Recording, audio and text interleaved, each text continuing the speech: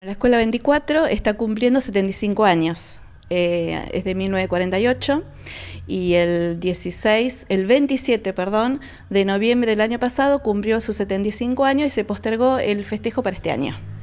Así que próximamente van a avisar desde la escuela y también nosotros, seguramente en octubre, noviembre se va a hacer el acto protocolar. La Escuela 24 es una escuela que tiene matrícula mixta, es decir, hay alumnos de la planta urbana, tanto de Beruti como de Trenglauken, y también del ámbito rural. En este momento la matrícula de la escuela son ocho alumnos y siempre estuvo oscilando entre cuatro o cinco alumnos, 13, 14, siempre fue un número pequeño que permite una atención personalizada y es el nivel primario, así que es de primero a sexto grado. Los niños que son de Beruti, del jardín de Beruti, eh, luego continúan en distintas instituciones, no hay una sola institución con la cual articule la escuela y los hay alumnos que vienen de la van de la planta urbana de Trenquelao que por distintos motivos a veces quieren una escuela con una matrícula menor para una atención personalizada. Entonces hay un caso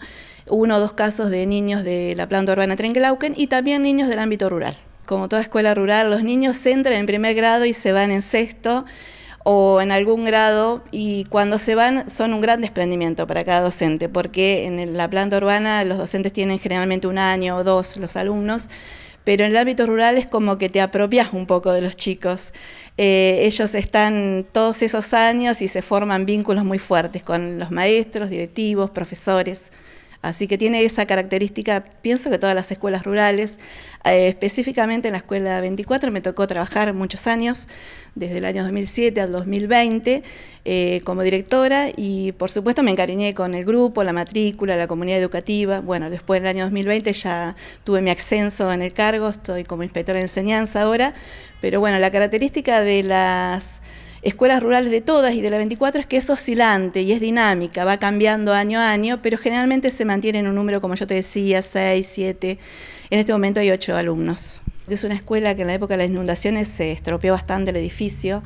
eh, hubo un deterioro importante y siempre se fue pidiendo eh, soluciones y se fueron realizando muchos arreglos. Me acuerdo que se cambiaron las aberturas del frente en algún momento, en otro momento el piso del aula, del Zoom. Hubo refacciones, pero siempre fueron parciales. Es como que ahora se ha hecho un abordaje más integral. Eh, por ejemplo, esta primera etapa, con el Fondo Educativo Provincial, se ha logrado el revoque de la parte exterior y de la parte interior, se ha concretado la pintura en la parte interior y exterior, arreglos en el techo, se ha impermeabilizado el techo y también el cielo raso han hecho arreglos con Durlock. Así que es importante todo lo que han hecho, el abordaje quedó muy linda la escuela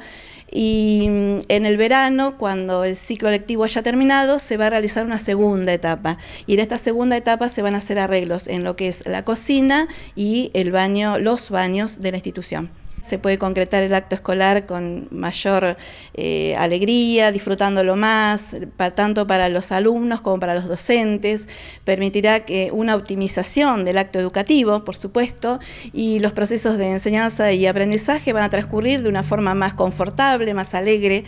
eh, seguramente van a estar todos más contentos. Es una institución que siempre ha tenido chicos de los dos ámbitos, tanto rural como urbano, y está en un punto estratégico, así que es muy importante y nos alegramos todos con la comunidad educativa por los avances que han tenido ahora con estas refacciones.